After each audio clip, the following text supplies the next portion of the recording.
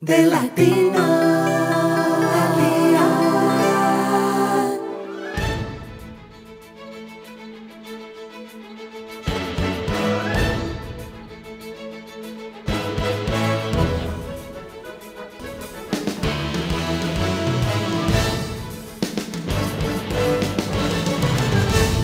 Como les comentaba antes eh, de comerciales, nuestras líneas de producción siempre están abiertas para nuestros televidentes. Y hoy aquí en Inmigración al Día queremos escuchar sus casos eh, para que encuentren asesoría directa con nuestro abogado de inmigración, Ricardo Esqueret, que como todas las semanas nos acompaña en el programa. Bueno, Ricardo, ya estamos listos para recibir eh, la primera pregunta de nuestros televidentes. ¿Listo? Claro, sí, vamos a, vamos a contestar las preguntas del público, que siempre es muy importante saber cuáles son las dudas que ellos tienen Claro que sí. Entonces vamos con la primera llamada, si la tenemos al aire, señor director.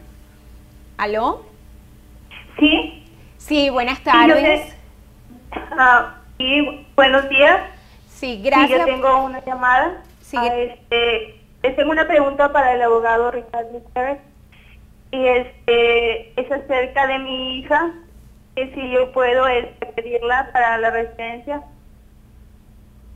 Bueno, depende de eh, en qué condiciones, si usted es ciudadana americana y su hija eh, está aquí en Estados Unidos y ella tiene una entrada legal, usted definitivamente la puede pedir como pariente inmediato. ¿Qué edad tiene ella? Ella tiene 21 años de edad. Bueno, ya ella cae entonces, ya no es pariente inmediato, ya cae como hija mayor de edad, o sea que hay una lista de espera. ¿Usted es ciudadana americana? No, estoy este, también está arreglando por violencia doméstica. Perdón, está, está, está, está arreglando por concepto de... De violencia doméstica. Ya, oh. ya, ya, usted, usted radicó como inmigrante especial con el servicio de inmigración. Sí, nada más estoy ahorita arreglando los ajustes. Ya, ya le aprobaron la petición, la I-360, el Centro de Servicio de Vermont ya se la aprobó.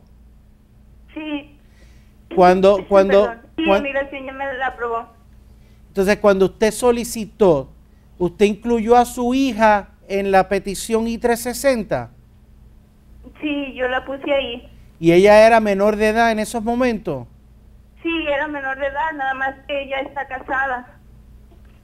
No, pero el problema es que si entonces ella se si ella si ella está casada, eh, aun cuando usted la incluyó en la petición I-360 suya cuando ella era menor de edad, al ella casarse, cambia la preferencia y ya por lo tanto eh, ella eh, puede que haya aged out al amparo de la ley de inmigración porque ella se casó. ¿Eso qué significa, Ricardo? Age out quiere decir cuando, cuando cuando se pide a un niño, a un menor de edad, eh, por, ya sea eh, por ser pariente inmediato, por ser, por, por, haber una clasificación que permita que un ciudadano americano o un residente permanente pida a ese menor de edad, hay que tener cuidado porque según la ley de inmigración, Pariente inmediato se define claramente como hijo o hija menor de 21 años. Mm. Y entonces, si ese menor de edad llega a los 21 años y no se radicó el ajuste de estatus, la I-485, antes, antes de que viniera a ser mayor, antes de que viniera a cumplir 21 años, ese niño, aun cuando la I-130 estuviera aprobada mientras fue menor de edad, la petición familiar, se puede quedar fuera. Es decir, que la respuesta para ella es que puede ser que sí o puede ser que no o no. La, la, ella incluyó a la niña eh, en la petición, en, la, en la I-360 de Cuando era menor de y edad. era menor de edad. Pero ahora se casó. aparentemente la petición familiar fue aprobada eh, antes de que la niña viniera a ser eh, eh, mayor de edad. El problema es, ella sí la podría pedir.